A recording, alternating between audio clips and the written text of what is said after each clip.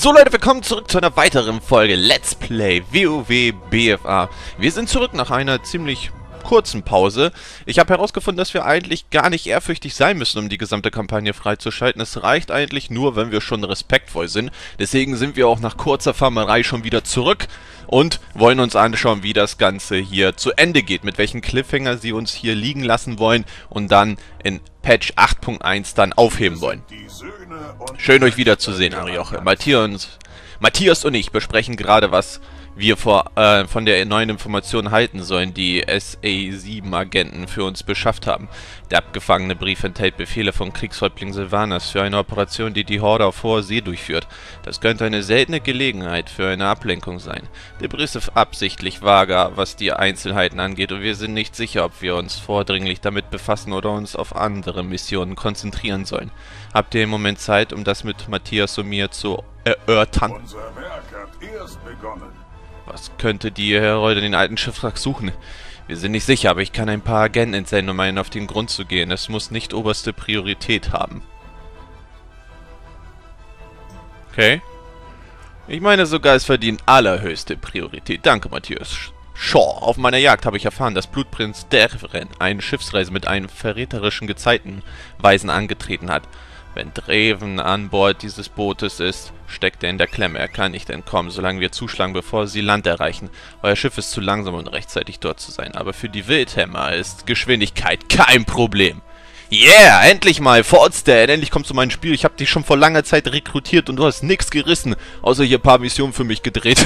Aber ansonsten hast du nicht wirklich viel für uns getan, Bruder. Jetzt ist deine Chance, dein Spotlight, Bro, dein Spotlight. Hm. Es ist also beschlossene Sache. Das Attentat auf Blutprinz Dreven auf hoher See wird unerwartet und demoralisierend sein und somit dem langfristigen Erfolg unserer großen Kampagne zugutekommen. Heilfrott Frümban lächelt. Das ist es, was ich unter Strategie verstehe. Okay, was müssen wir denn jetzt erledigen? Aufgrund der Informationen, die ich auf meiner Erkundungsmission gesammelt habe und den Erkenntnissen von Matthias Shaw, wissen wir genau, wo sich Blutprinz Dreven aufhalten wird. Wir werden unsere Rache bekommen, Arioche, für uns selbst, für meine Schwestern, für die Allianz. Dieses Mal werden wir die San... Oh Gott, wie spricht man das denn aus? Sanlein? Sanlein? Sunline, Alter. Ich sag einfach Sun, Sunlane, Sunlane. Nicht unterschätzen. Dank uns wird die Horde keine Ruhe mehr finden und wir werden sie mit schnellen, gezielten, unbarmherzigen Angriffen ablenken. Zum Glück sind Wildhammer Meister dieser Kampfstrategien. Ich bin froh, dass sie sich uns anschließen. Seid ihr abmarschbereit? Achso, wir müssen sogar auf Vollstedt reiten. Nicht, noch nicht mal irgendwann noch Suldersau oder so. Mit Vollstedt dürfen wir eine kleine Spaziertour machen. Schön. Fawcett geht mit Darioch voraus. Ich reite auf Jalalala Tor. Auf geht's, Flinkschwinger. Zurück in den Himmel, wo wir hingehören. So ist es. So ist es. Okay, ich bin, ich bin dann gespannt, wie jetzt die ganze Sache zu Ende gehen wird. Also ich meine ja, wir sind jetzt auf der Jagd nach Dreven. Wir wissen, dass er irgendwie auf hoher See ist. Er kann also quasi nicht entkommen scheinbar auf hoher See kann man sich nicht wegteleportieren. In der Höhle hat er sich einfach wegteleportiert und in den anderen Gewässern hat er sich auch wegteleportiert. Aber auf hoher See funktioniert die Teleportation scheinbar nicht so, wie man sich vermuten würde. Geil, der Server ist abgeschmiert. nice. Sehr guter Anfang. Verstehen, dass, es, äh, dass die Horde versucht, ein bisschen Zeit zu schinden und das Unausweichliche hinauszuzögern, aber für das Unausweichliche gibt's kein Hinauszögern. Ich wüsste nur, wo ich bin. Ich bin verdammt noch mal im Wasser. Ich, ich sende mal das Signal. Ich kann mich gerade nicht bewegen. Ich bin im Wasser. Okay, das sollte wahrscheinlich so sein. Ah, da seid ihr, Arioche. Springt auf. Wir sind fast da. Ich kann den üblen Gestank des Untoten riechen. Die miserablen Wetter bietet uns etwas Deckung. Jede dicke Wolke und jeder Regentropfen sehen als Verbündeter. Chandres Moonfeder grinst. So gesehen sind wir der Horde zahlmäßig überlegen. Sie haben keine Chance. Mehr Informationen haben wir nicht, Darioche. Blutprinz Dreven lauert in einer der Schiffe der verlassen, aber wir wissen nicht, in welchen oder in welchem Abschnitt des Schiffes er sich befindet. Wir werden uns trennen und die Schiffe gleichzeitig angreifen, damit die Horde weniger Zeit hat zu reagieren. Wenn Dreven sich nicht auf den von euch durchsuchten Schiff aufhält, verlasst es und schließt euch mir auf den anderen an. Wenn er nicht auf mein Schiff ist, werde ich das gleiche tun. Wir werden Dreven gemeinsam zur Strecke bringen. Lasst euch nicht ablenken. Uns steht nur begrenzte Mittel zur Verfügung. Dreven ist heute unser einziges Ziel. Okay. Klingt doch schon mal nach einem guten Plan. Einfach Schiff nach Schiff durchsuchen und dann wegmoksen. Das können wir eigentlich gut. Vorbeischleichen ist eigentlich auch eine unserer größten Künste. Das heißt, wir sollten eigentlich wenig Widerstand gleich haben. Außer wir, wir springen gleich runter und gleich direkt im Eimer, aber äh, wir können es ja mal probieren, wie es gleich aussehen wird. So, äh, was steht denn da noch? Nö, nö, nö, nö. Welt haben befreit euch, haltet euch vom Himmel frei. Ich kann euch runter zur Klage bringen, aber haltet euch lieber gut fest. Okay, gut. Also hier die kleinen obligatorischen Warnungen für uns, aber an sich geht das jetzt für uns los. Ach, mit einer Leiter sogar, perfekt. So, unsichtbar machen und einfach vorbeischleichen. Es sei denn, oh ja, wir müssen Matrosen töten. Dann ist das natürlich eine andere Sache. Ich meine, seit der letzten Folge sind auch schon ein bisschen Zeit vergangen. Wir hatten wieder Möglichkeiten, ein bisschen Gear zu sammeln. Ich meine, wir sind jetzt auf 350. Man muss jetzt sagen, man kann sagen, was man will. Es ist jetzt nicht so das Gelbe von einer. Die, die Hardcore-Spieler haben wahrscheinlich schon 355. Ein Kumpel hat von mir, glaube ich, schon auch 300, mehr als 355 sogar. Aber es ist immerhin schon mal ein guter Anfang. Die Schiffskanonen sind momentan über das Wasser hinweg auf das andere Schiff der Verlassenen gerichtet. Allerdings scheint es, als ob die Besatzung sich nicht mit Schwarzpulver oder Kanonenkugel geladen hat. Wahrscheinlich um unabsichtigste Schüsse zu vermeiden, solange sie sich hier vor Anker liegen. Ja, es wäre wirklich schade, wenn versehentliches Kanonenfeuer das andere Schiff beschädigte. Hm, mir gefällt das. Mir gefällt, was mein Schurke gerade vorhat. Das ist mein Schurke, Mann darauf, äh, ich bin stolz auf dich. Auch wenn ich dich nur eigentlich verkörpere und, und eigentlich was anderes manchmal denke als du, bin ich trotzdem froh, dass wir ab und zu mal auf derselben Wellenlänge sind. Da will der Typ einfach mal hier so ein bisschen Sperrfeuer errichten. ja, mein Freund. Du hast, du hast, meine Erlaubnis hast du hier jetzt gerade mal hier so ein bisschen so badabum, badabum zu machen. Wenn ich jetzt nicht die ganze Zeit von Besatzung attackiert werde. Alter Schwede, das, äh, wobei, ich habe jetzt irgendwie gemerkt, sie haben mit der Skalierung ein bisschen bessere Arbeit geleistet. Also ich kann jetzt mal vier Leute poolen, ohne gleich direkt ins Gras zu beißen. Das ist doch schon mal ein guter Anfang. Also für mich jedenfalls. so, das waren alle. Jetzt brauchen wir nur noch eine Fackel, genau. Ja, die Fackel nehmen wir auch mal mit. Zack. So, und jetzt wird gebammt. Jetzt wird geballert. Da habt ihr einen. Und noch ein. Vor allen Dingen schöne Azerothkugel. Die müsste eigentlich große, dicke, fette Löcher reinbämsen. Das müsste eigentlich das Ganze hier beschleunigen, was wir vorhaben. Ähm, kriegst du heute Horde geöffnet? Wir dürfen sogar noch Schätze plündern. Mein Gott. Wir dürfen alles tun, was ich mir jemals erträumt habe. Oh, ist eine Falle.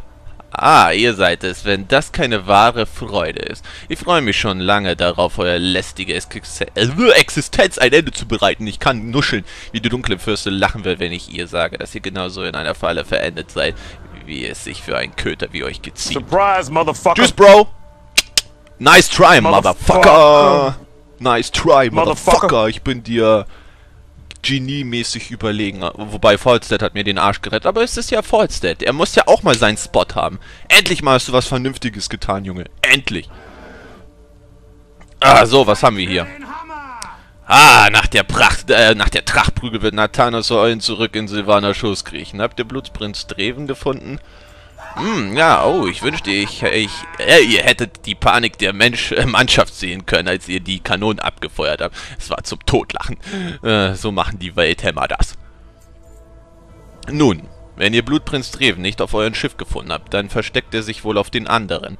Ich kann euch dorthin bringen, aber die Horde weiß jetzt, dass wir hier sind. Was meint ihr? Sollen wir ein paar Ablenkungsmanöver starten, damit sie beschäftigt sind, werden wir Dreven aufspüren? Mein Wildhämmer juckt es in den Fingern, ihre Hämmer fliegen zu lassen. Wollt ihr bei der ersten Runde mitmachen? Ja, okay, los. Ein bisschen ballern. Guck mal, das eine Schiff äh, sieht schon ziemlich im Eimer aus. Oh, das waren aber sehr drei gezielte Schüsse. Einmal das Heck, einmal das Steuerbord und einmal die Mitte. Ich weiß nicht, wie man, wie man in der Seemannssprache die Mitte bezeichnen würde. Backboard? Nein, Backboard Ah, dafür kennen wir, dafür kennen wir uns nicht gut genug aus. Bevor ich jetzt hier mit irgendwelchen Jargons um mich werfe, mit denen ich mich nicht auskenne. Oh, sehr gut. Es ist immerhin schön, dass er bei jedem Kill, den wir machen, eine schöne Melodie von sich stößt. Wenn die auch mal töten würden. Aber es tötet auch... Oh, warte mal, auf den Schiffen sind auch noch welche. Hey, das hätte ich das gewusst, dann hätte ich mich doch nicht aufs Schiff konzentriert. Guck mal, das ist doch viel leichteres Opfer. Vor allen Dingen Blitze. Blitz auf dem Schiff, das ist Instant Killer, meine Freunde. Das ist Instant Killer. So, meine Freunde, das ist voll der Hammer, meine Freunde. Das ist voll der Hammer. Wie die guten alten Warcraft Quoten sagen würden. Aber das geht ja eigentlich. Ich, ich, ich frage mich, was sind das überhaupt? Taucherinnen. Okay, ich wollte gerade sagen, ich würde mich eigentlich nicht freiwillig ins Wasser begeben, wenn ich wüsste, dass jetzt, dass jetzt gerade jemand mit, mit einem Hammer um mich wirft, die zufälligerweise noch Blitze verströmen. Ja, da würde ich vielleicht auf mein Schiffchen bleiben. Das wäre nicht gerade so einer der Dinge, wo ich mich ins Wasser trauen würde, wenn ich einer der Horde wäre. Äh, aber das sind Untote und Hordler äh, die eine haben ihr Hören verloren, die andere hat noch nie ein Hören. Äh, es ist halt, was soll man sagen? Warte mal, Siege der Blutsch... Oh ja, ja, ja.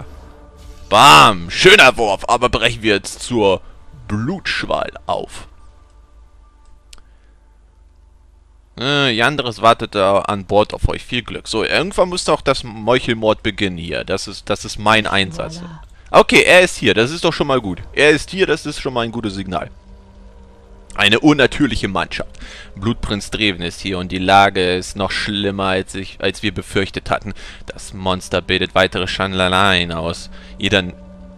Oh Gott, Alter, wieso wirft man mir immer mit solchen Vokabeln um mich rum? Ich kenne nur so Business-Schachwaggon, Wach-Schachwaggon, so diese kaufmännischen Gebrauchen. Aber egal, versuchen wir. Nur, ihr Feed, den ihr auf diesem Schiff seht, ist ein zukünftiger Blutprinz Dreven. Es darf nicht passieren, dass sich seine ruchlosen Praktikanten in der Horde verbreiten. Wir werden die Sun Lion jetzt mit Stumpf und Stiel ausmerzen. So, Blutprinz Riven und seine Anhänger saugen Macht aus bluterfüllten Kristallen, um ihre unheiligen Fähigkeiten zu verstärken. Wir sollten sie zerstören und so Dreven schwächen, bevor wir gegen ihn kämpfen. Zerstört so viele Kristalle, wie ihr finden könnt.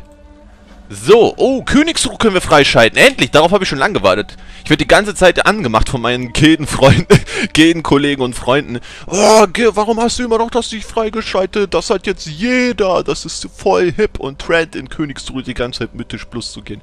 Naja. Die Horde begleitet die Zahnlaneien nicht zum Spaß überall hin. Das sind jede Menge wichtige Persönlichkeiten der Horde dabei. Irgendetwas geht da vor. Das Gute bei den wichtigen Zielen der Horde sind die Unterlagen, die sie oft bei sich führen. Schaut, diese Karte habe ich bei einem der Toten gefunden. Seht ihr den großen roten Kreis mit der Bezeichnung Königsruh? Was bedeutet Königsruh? Warum weiß die Allianz nichts davon? Wir müssen das herausfinden, sobald wir wieder zurück an Land sind. Gut, ich hoffe nicht, dass die letzte Quest damit so endet, ja, geh mal in Königsruhe. Wäre zwar okay, weil von der Jaina Quest kenne ich das auch schon, aber äh, zweimal mich so mich so richtig warten lassen, ist es nicht gut. Ach, zwei von denen sogar. Kommt näher, Mensch. Aber ich würde es immer noch geil finden, wenn das verbündete Völker wäre. Also, ich meine, klar, wenn wir sie jetzt wirklich ausräuchern sollten, mit Blutprinz Dreven, dann denke ich mal nicht, dass sie sich hier als verbündetes Volk herausstellen werden. Das glaube ich definitiv dann nicht. Okay, klar. Aber, naja, wir kennen ja Blizzard. Die können immer wieder irgendwelche Plots entwickeln, warum sie trotzdem überlebt haben. So nach dem Motto, der Blutprinz Dreven ist tot, aber die restlichen haben noch überlebt. Äh, ja, und unter den Überlebenden ist zufällig der Held auch dabei. es ist drei Millionen überlebende Blut, Blutnachtelfen oder Blutelfen, wie sie sich äh, nennen würden, haben einfach das ganze Schamorksel überlebt und sind jetzt laufen da jetzt rum, so nach dem Motto, ja, hat ja, hat ja auch ge was gebracht, ne, den Blutpritzen zu töten, wenn gleich darauf drei Millionen neue kommen. Hätten wir ihn vielleicht mal am Leben lassen sollen. Das hätte sich die Allianz vielleicht mal ein bisschen besser überlegen sollen, ne? So nach dem Motto, scheiße, aber die ganzen Spieler, sie werden die ganze Zeit nur wahrscheinlich Blutnachtelfen machen. Blutelfen. Ach ja, die ganzen, ganzen Spekulationen, die sich vorher gehen. Hm schon ziemlich krass. Die Möglichkeiten wären da. Ich meine, es ist ja genauso, wie die ganze Zeit gesagt wird, ja, Vulpera, das werden hundertprozentig verbündete Völker werden.